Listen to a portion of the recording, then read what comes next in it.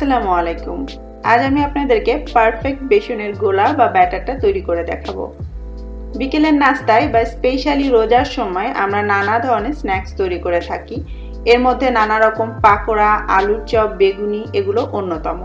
আর এগুলো তৈরি করতে আমাদের দরকার হয় বেসনের গোলা বা ব্যাটারটার। আর সেটা যদি ঠিকমতো তৈরি করা না হয়, তাহলে এগুলো হয় নেতিয়ে যায়। না হলে এটা বেশি মুচমুচে হয় না, আবার বেশি তেল শুষে। তো আজকে আমি আপনাদের সঙ্গে অনেকগুলো টিপসের সাথে এই রেসিপিটি শেয়ার করব যাতে পারফেক্টলি আপনারা এটা তৈরি করতে পারেন। বেসনের ব্যাটারটা তৈরি করার জন্য একটা বড় বাটিতে আমি বেসন নিয়ে নিব। তবে এইভাবে সরাসরি নয়, একটা ছাকনি বা চালনির সাহায্যে এটাকে চেলে নিতে হবে। আমি এখানে দুই কাপ বেসন নিচ্ছি। তারপর এটাকে একটু নেড়ে নেড়ে এইভাবে চেলে নিতে হবে। আপনার হাতে যদি সময় কম থাকে, তাহলে এভাবে এক বিটার দিয়ে একটু নেড়ে নেবেন, তবে খুব ভালো হয় এইভাবে চেলে নিতে পারলে।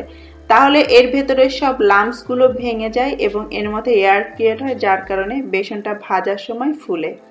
সম্পূর্ণটুকুন চালা হয়ে গেলে তারপর এর মধ্যে আমি দিয়ে দিচ্ছি স্বাদ মতো লবণ। সেই সাথে দিয়ে দিচ্ছি আধা চা চামচ হলুদের গুঁড়ো এবং পনে এক চা চামচের মতো দিয়ে দিচ্ছি লাল মরিচের গুঁড়ো। চাইলে এটা বাদ দিতে পারেন।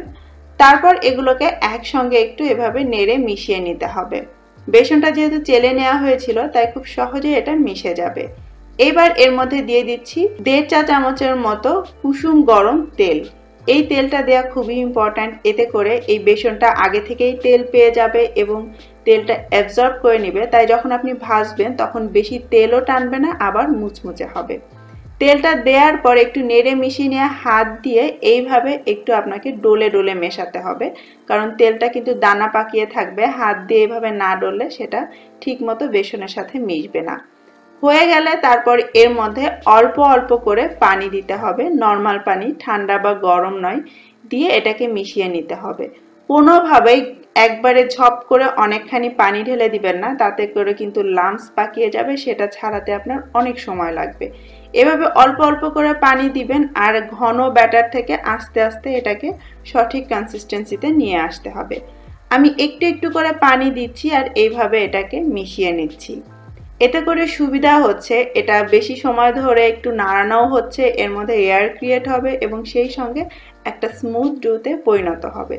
দেখতেই পাচ্ছেন এটা কতটা স্মুথ হয়েছে, তবে এখনও অনেকটা ঘন, তাই আমি আবারও একটু একটু করে পানি দিয়ে দিচ্ছি। তবে এই লাস্ট স্টেজে এসে আপনাকে খুব সাবধানে পানি দিতে হবে, কারণ এবারে পানি বেশি পড়ে গেলে আবার আপনাকে এর মধ্যে বেসন অ্যাড করতে হবে। তাই সাবধানে অল্প অল্প করে পানি দিয়ে এটাকে এইভাবে নেড়ে মেশাতে হবে এবং খুব ভালো করে জোরে জোরে একটু ফেটতে হবে। যত ভালো করে ফেটবেন, এটা তত স্মুথ হবে এবং আপনার বেসনের গোলাটা ততটাই পারফেক্ট হবে। আমার কাছে মনে হচ্ছে এটা হয়ে গিয়েছে, এটা চেক করার উপায় হচ্ছে, এর মধ্যে একটা আঙুল এভাবে ডুবিয়ে দিবেন, একটু ধরে রাখবেন যাতে এক্সট্রাটা পড়ে যায়, তারপরে দেখবেন যে লাস্টের দিকে এই ড্রপগুলো খুব আস্তে আস্তে হয়ে যাচ্ছে। আর একটু খেয়াল করুন, আঙুলটা কিন্তু পুরোপুরি এই বেসনের গোলা দিয়ে কোট হয়ে গিয়েছে, নখটা কিন্তু বোঝা যাচ্ছে না।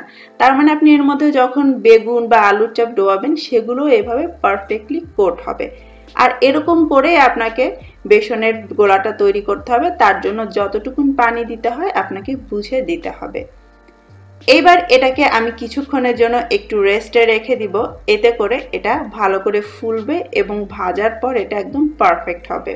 আপনাকে এটা মিনিমাম 10 থেকে পনেরো মিনিট রাখতে হবে। তবে আপনি চাইলে সকালে বানিয়ে রেখে দিতে পারেন। বিকালে যখন আপনি এটা ভাজবেন ইফতারের আগে ঠিক তার আগ মুহূর্তে এর মধ্যে দিয়ে দিতে হবে বেকিং সোডা। আমি ওয়ান ফোর চা চামচ দিলাম দুই কাপ বেসনের জন্য। তারপর এটাকে এভাবে নেড়ে মিশিয়ে নিতে হবে।